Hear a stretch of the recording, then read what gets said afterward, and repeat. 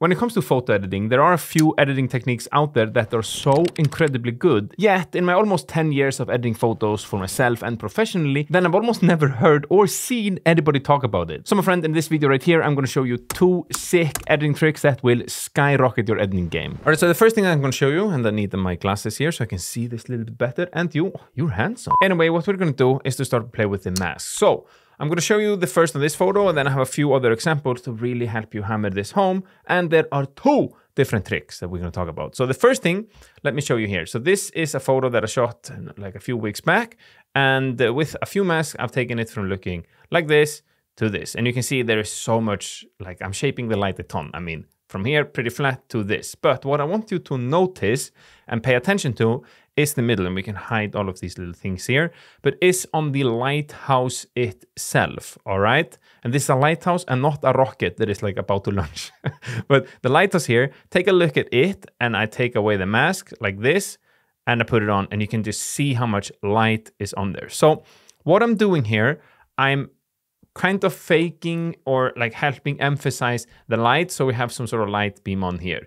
I actually waited for 30 minutes for this specific photo for the light to hit the lighthouse. The sun is shining like here and we have these patches through the clouds, but it never hit directly, which was a little bit of a bummer, but I managed to fix it quite well and I'm selling this effect pretty decently. So what am I doing? My friends, there's a lot that goes into it, but I'm gonna show you the main little thing that I think is absolutely fantastic. So first thing first, we are going to work with something known as intersecting masks. So what intersecting mask basically means is that you're combining two selections so your adjustments just show up where they overlap. For example, you could select the sky, then you can intersect it with a radial filter, and now your edit only affects the part of the sky that is inside the circle itself. And by the way, if you want to take your editing game and leveling it up even further, then I did make a free 33-day email series where I'm sending out one short editing tip a day to help you become a better photo editor. It's totally free and you can find it in the description down below. Now, when it comes to creating the illusion that light is hitting this lighthouse, and let me just delete these masks that is doing most of that effect or the heavy lifting for us. You see, I also have some mask in the middle, but we are focusing on intersecting masks. Then what many people will probably do is to create a mask, a brush. You will start to brush maybe this part right here, and you brighten up the exposure, and then you know that the light is coming from this direction. So we create another mask with a brush and make this selection right here a little bit darker.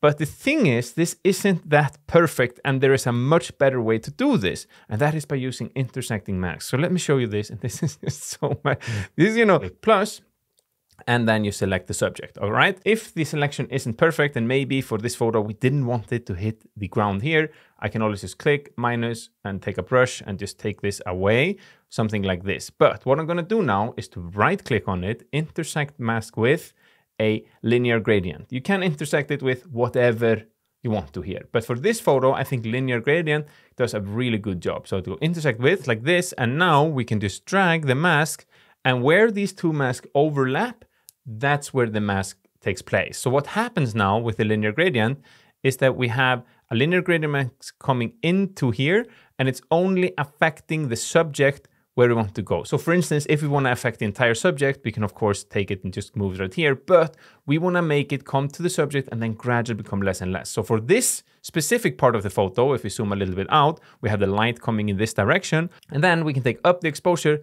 to play with the light coming in this direction. And then, just to show you what happens, this is the effect that is taking place, all right? And then you can take up the contrast, whites, and do whatever that you want to do. There's a bunch of sliders here that you can play with to get the perfect light. It's all about the micro adjustments if you want to get a perfect edit. Then next, from the other side, we simply go to click, select, we go select subject from here, and then we go from it, intersect mask with, linear gradient, and now we take it in the other direction and because I want to create a contrast, we have shadow side of this lighthouse, then this, instead of going up with the exposure, we can go down with the exposure, we can take up the contrast, and then it's just about fine tuning this. But you get what I'm trying to create. And the end result with doing this a few times and like really micro adjusting is you get it looking just like this. So if I take it away, take a look at the lighthouse itself, and we take it away like this to this. So freaking beautiful. now, just want to quickly add that the reason that intersecting a subject mask and a gradient filter mask on this specific photo right here works so incredibly well is because when you do this, the effect itself will only touch the subject and then it will gradually go from one side and gradually become less and less to the other side, completely mimicking how the sun would be hitting the subject in the first place if it was there. and then you do the opposite on the other side with the shadows. I know this is just way too exciting, you know? But my friend, there are more ways that you can use intersecting mask with, and I'm no idea why not more people are using this. I talk about this because this is an absolute like gold. For instance, here we have a subject that is in the middle, and this is actually an edited photo. So let's do it from this photo right here. Now this is totally kind of unedited, but I'm gonna show you it either way. So we do it like this. What I would like to do here is to darken the foreground here and then emphasize on the haze here without touching the subject. I want the subject to shine through. So very, very, very simple way to do that is to click the mask and then you can simply just click select background. All right. This selects an entire mask around everything except the subject. Then what we can do, we can right click on the mask, go to intersect with, we can use a linear gradient for this, and then we take it up right here. And you see what happens? So now we're creating a mask that is going up it's touching everything except this. So instead of using just a gradient filter and taking it up here and we're getting it on a subject wells, now we can do all of our changes and it isn't touching the subject at all. So we can darken it here, make this a like lot moodier, but we aren't touching the subject. This is so pretty. And imagine if this was a bird. This is how my buddies that are wildlife photographers do a ton. And you can create masks around it and play with the masks and shaping the light around the birdie and not touch it self or like not touch the subject itself what I was going to say. And then on the other side we can go select background and now we're going to intersect the background with intersect with masks. We have a little linear gradient and in this direction like so and then we can go dehaze and take that down. Boom just two different masks we have added so much contrast without touching the subject and it went from this to this very, very, very, very nice. Now, the next little masking trick I'm going to show you is also absolutely fantastic. And if you enjoy this way of thinking about photography and you like really want to take your editing game and just skyrocket it and make it so much better in just 30 days, then I encourage you to check out my full Lightroom Masterclass. Basically, this is the exact step-by-step -step system I use to take my good photos and turn them into spectacular ones. It's everything that I've learned after editing photos on a daily basis for almost 10 years now. And at the time of the recording, almost 300 photographers have gone through the course, which is just nuts to me. and I've had so much positive feedback on it. So I can guarantee you that you will get at least one of these aha moments, if not even more. You know them when you learn something in a world shift and you'll be like, how why did I not know that? I'm talking them moments, you know? Anyway, I'm confident to say and stand behind my word saying that this course will transform your photos in very short amount of time. If you're interested, you can find more information in the description down below. So the next little trick I am going to show you, my friend, has to do with this right here. So first thing first, you need to understand when it comes to my type of photography, one thing that I absolutely love to do is to shape the light and help emphasize on the light source. So for instance, this photo right here, what I'm doing, you can see with just a few masks, I'm taking control of the light. This is something that I show in depth in my course. this is a sneaky little shameless plug there. But basically what this is, this is a bunch of different masks where I'm helping focus on the light, all right? And I'm then using down with dehaze and clarity and helping pointing the light source. And then of course you can start to do other things as well if you want to. But why is this important?